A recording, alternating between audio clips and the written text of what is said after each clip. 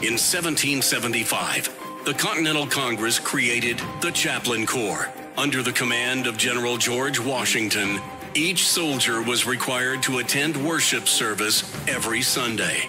While other armies advanced on their feet, Washington's troops advanced on their knees. It's time for the Chaplain's Report with Caleb Colquitt on tactics. Chaplain's report this morning comes from the book of Daniel yet again. Like I said, we're going through this little series when it comes to the book of Daniel. And if you'll remember what we were talking about yesterday is the king has had this dream and he wants the people that are surrounding him, the magicians, the Chaldeans, the people that are supposed to be mystics and, and experts in this stuff, he wants them to tell him the interpretation of his dream. And they can't. And not only does he want them to tell them the interpretation, he wants him to he wants them to tell him the dream. Because otherwise they could just be making up anything as the interpretation. He's like, "No, no, no. You have to tell me the dream and then you have to tell me the interpretation and then I'll know that the interpretation is actually real." Which actually is weirdly enough a pretty good standard because if they can tell you the dream, they can probably tell you how to translate it, how to interpret it.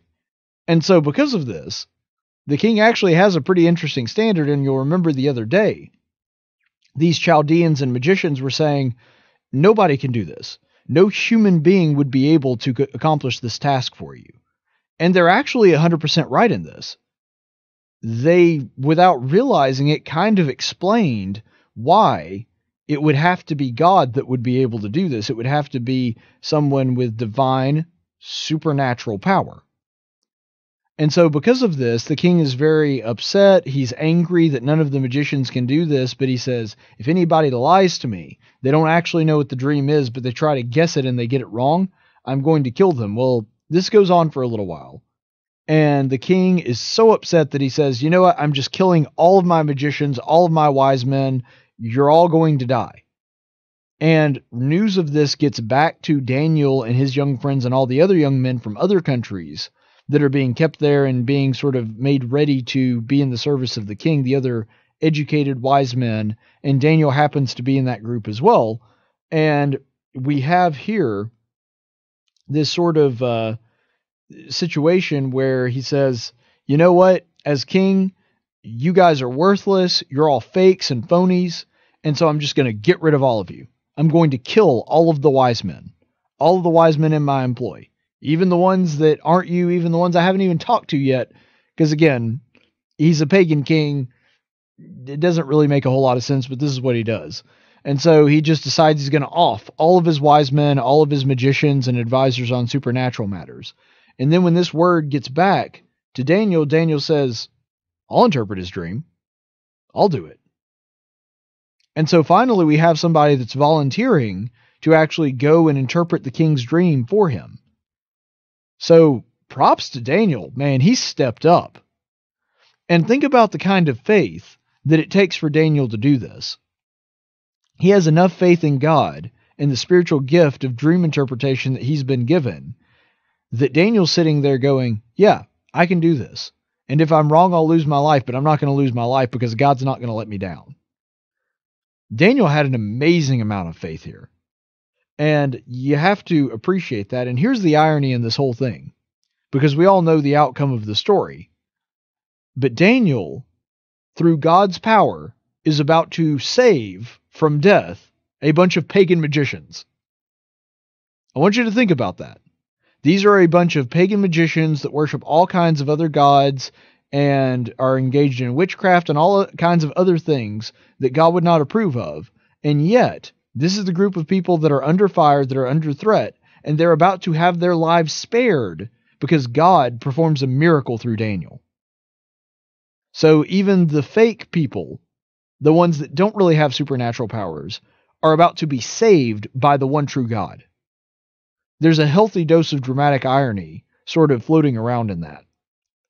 And we see how the story unfolds in the second chapter of Daniel, verses 17 through 18, where it says, Then Daniel went to his house and informed his friends, Hananiah, Mishael, and Azariah, about the matter, so that they might request compassion from the God of heaven concerning this mystery so that Daniel and his friends would not be destroyed with the rest of the wise men of Babylon. So, this is essentially Daniel's prescription. He's already agreed to go forward, he's already agreed to interpret the king's dream, and he is the one that is going to be the guy on the hot seat. And I love how he reacts to it. He goes to his house, he gathers up his friends, his brothers, those that love God and worship Him just like he does, and they get together and pray about it. That says a lot about Daniel's priorities and a lot about who he trusts. That when this horrible thing is about to happen, when his life is under threat, he says, You know what?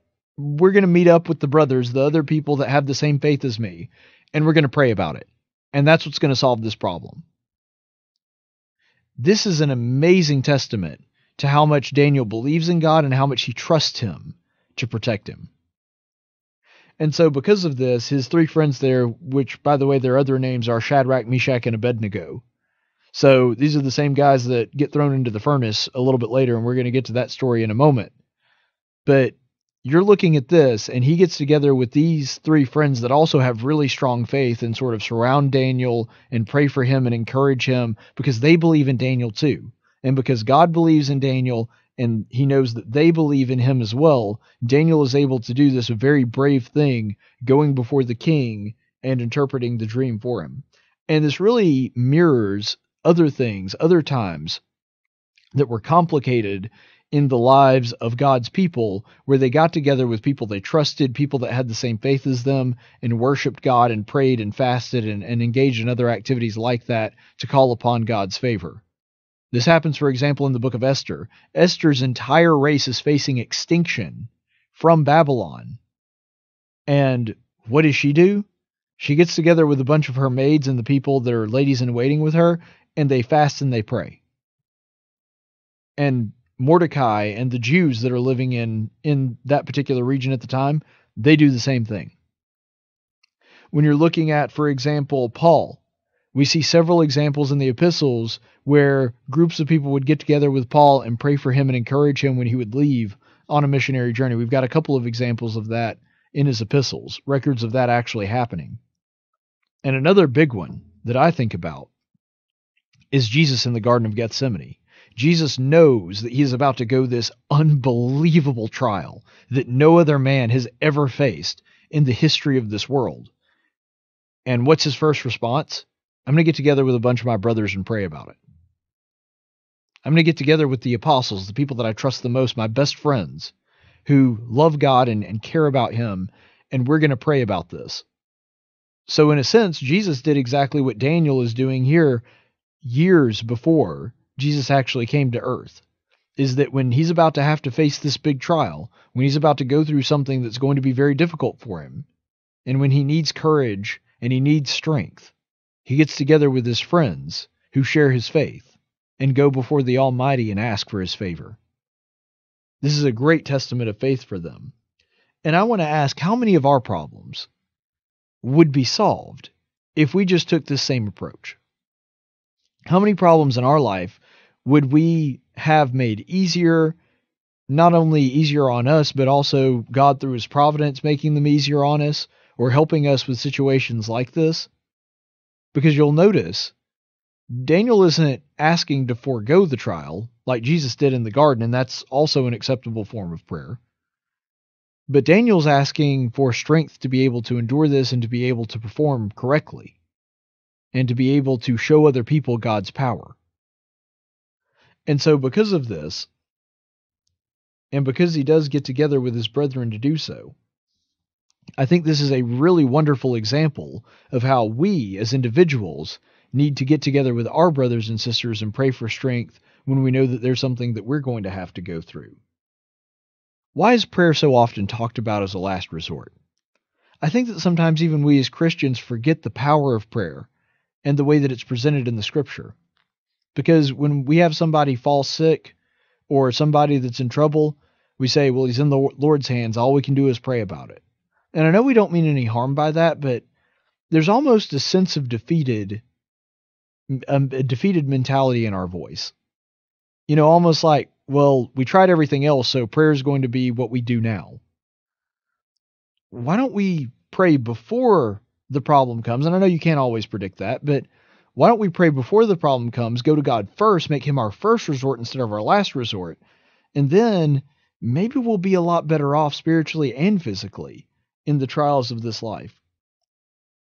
See, Daniel is not only blessed by this, but he's probably encouraged by knowing that his brothers have his back as well. And our first instinct when we're going through something difficult like this should be to lean on God. And part of that is leaning on our brothers that share the same faith. So many of our problems that we go through, so many of the heartaches that we have, would be made easier on us if we just did that first, if we just went to God and our brothers in Christ first. Stay the course, friends.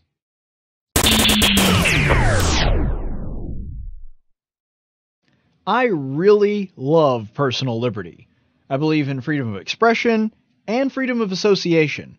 And so it is completely up to you whether or not you want to like this video and subscribe to the Tactics Radio YouTube channel. However, I will say this. You know who else never subscribed to my channel? Hitler. So the way I see it, you have two options. You can either like this video and subscribe to Tactics Radio on YouTube, or you can be like Hitler. Totally up to you.